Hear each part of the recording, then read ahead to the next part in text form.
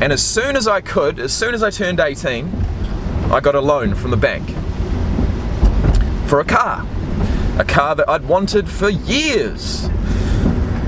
And that car was a 2000 Subaru Legacy B4. Twin turbo, way too powerful for me, but I wanted it. Okay, I've been working like three jobs. Probably why I never see ya. Probably why I never have time for the fake friends I won't be ya. Oh God, I've been running now.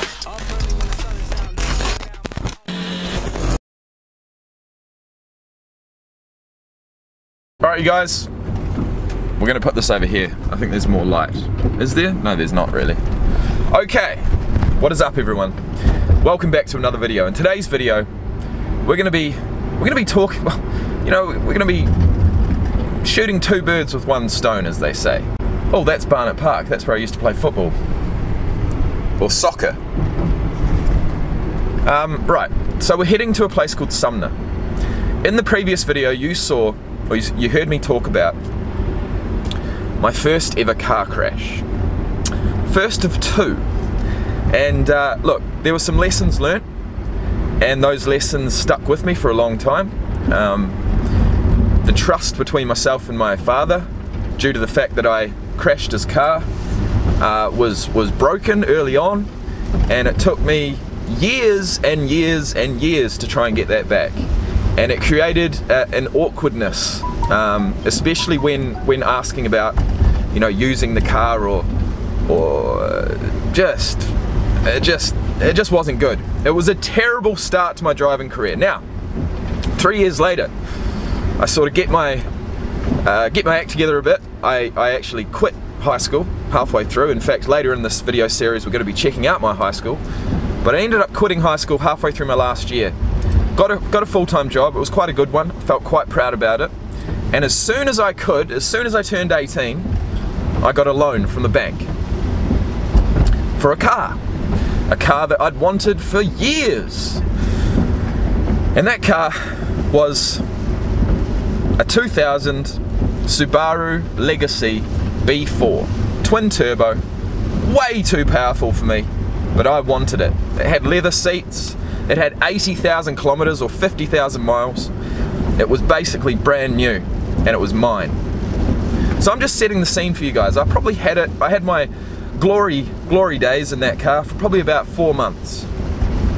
And then I started drink driving, which is the basis of this life lesson that I'm going to be talking about. The lesson is don't drink drive because it's not worth it. And, uh, you know, not only is it not worth it for your safety, for other people's safety, but it's not worth it because at the end of the day, you're not in control. Anything can happen. And if you're as drunk as I was, you can even fall asleep behind the wheel. And that's exactly what happened. That's exactly what happened to me. I fell asleep behind the wheel. So I am going to uh, put the camera away. We're in a place called Sumner. And, uh, you know, I I'm hoping to get a bit of closure on this as well because I drove from Sumner over the hill to Lyttelton. That hill, that road has actually been closed for the last like eight or nine years because of the earthquakes. Um, too many rocks fell down. So today I'm going to get closure on not only, you know, running through this situation again with, with you, with you guys and with myself, but I'm also going to drive the same road that I crashed on for the first time since crashing because it's been closed for years. So it's going to be interesting. I'm going to try and stop exactly where the crash was and I'll run you through how I felt and uh, and what I learnt from it because there's some lessons to be learned. I could have killed myself that night. That's all you need to know. So with that being said, I'll see you soon. So I'm just looking for my old, there it is, Arnold Street. This is the one. Yeah, me and my mates came down here a few times, fair few times. It was my, uh, one of my good mate Adam's place here in Sumner.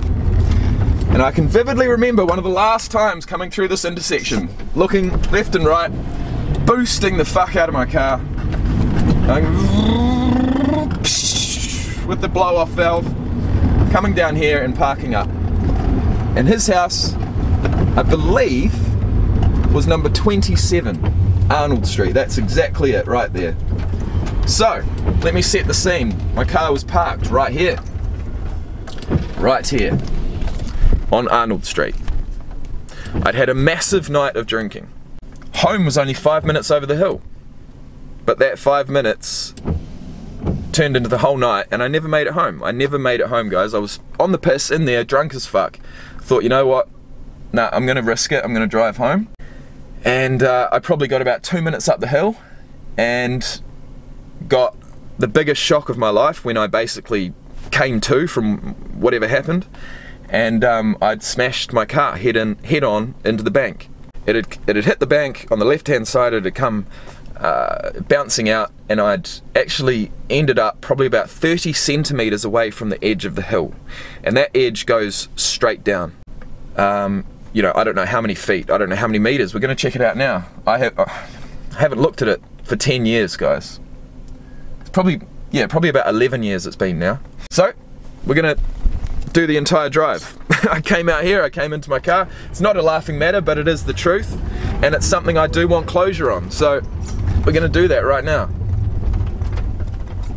Let's just hope I don't crash this time. So coming through Sumner, I spent so many days here, man, because I lived in Lyttelton and one of my best mates, Adam, lived in Sumner. And literally it was linked by this Summit Road and the Summit Road goes up all the way over there and over to, to uh, Lyttelton which is where we're going to be going today. And uh, it was great having a mate that was here in, in Sumner. We played football together. We played soccer um, for the Ferrymead Bays which is just around the corner.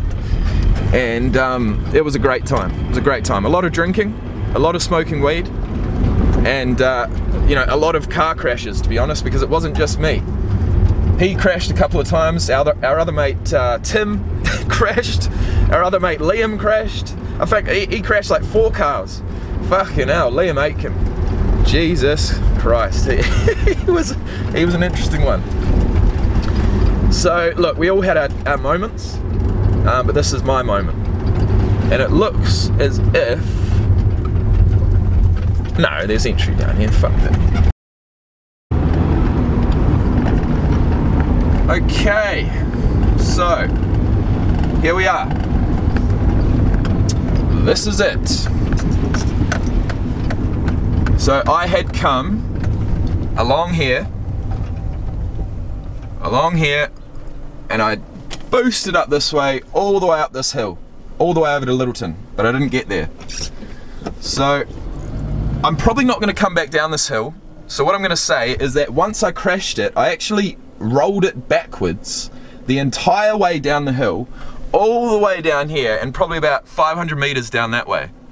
And that is where I, at four o'clock in the morning, knocked on the door of a random old lady's house. She came out at four in the morning. I was drunk, obviously, but I was in shock. And I needed someone to come and pick up the car. So I called a tow truck. They came, picked up the car, took it home, and I was dropped off at my dad's place in Lyttelton by the tow truck driver with my car at 6 in the morning. And that was another interesting conversation with my dad. Very, very interesting. In my naivety, I even wanted him to say that he was driving. I wanted him to fucking ring the insurance company that morning and say, look, I've had a crash, um, I need to claim, because I was drunk. And um, Come to think of it, I was also unlicensed, but we're not going to go there. Let's go and check out this area, man. This is this is going to be. Ugh. Now, as I said, I'd actually fallen asleep. So I couldn't tell you the exact spot. But I'm assuming it's somewhere around here. Boosting, boosting, boosting, and like I said, this um, this road has been closed for the last eight years but I honestly think it was pretty much right, right here. As I come around this corner, I think I took it too, too close, smacked into the bank. You know what, let's go check it out. I want to show you, and I want to show myself once again, how close I was to imminent death. Okay? I'm not even joking. This is it, man. This is definitely the area. Beautiful, beautiful area. Summit Road. The Port Hills in the background. Alright, so I want to take a quick, quick walk up this way. Hopefully no cars come. But uh, I don't know if you can imagine, four in the morning, wasted as, you just got basically woken up by a fucking massive car crash. You, your pride and joy, that's the thing that I want to say. This was my pride and joy, man. This was my, this was everything. I just got a loan for this car. I was just 18. I'd had it for probably three or four months. I was on top of the world. And um, I fucked it. I completely and utterly fucked it. I had no car. It was all smashed up, completely written off, no insurance. I had a loan now. This was my first experience of, of bad debt, okay? basically my first experience of like a credit card because I had this had this car, had this loan, but no car. Sorry. I had a smashed up car. I had a loan for a car that I didn't have. And so from age 18, I was already in debt, paying off something that I didn't even have. Right? It was it was absolutely depressing as hell. And um, this is this is the area. Once this car goes past, I'll give you a look.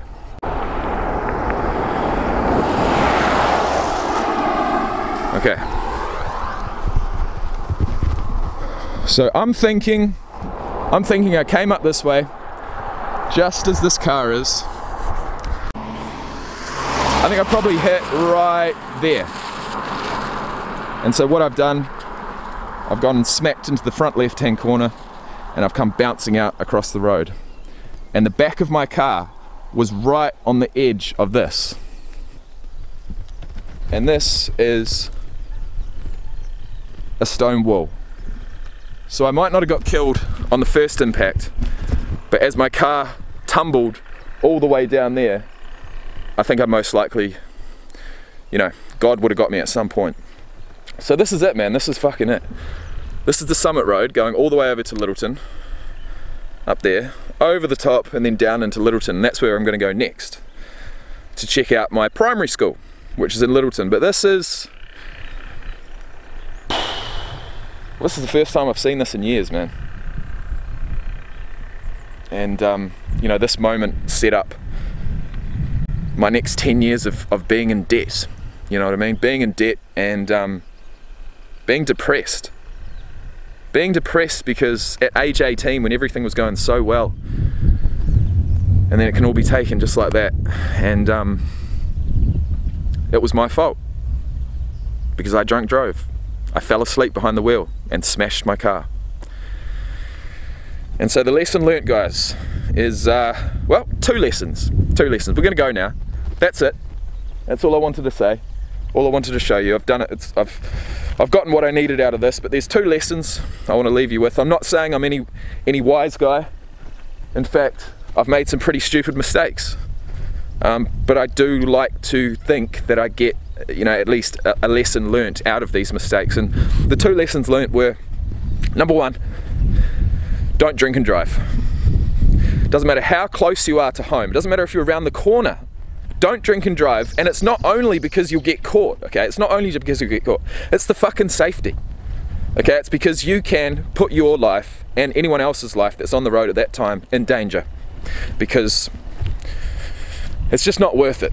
So that's reason number one or lesson number one. Lesson number two is be careful about what you take debt out for.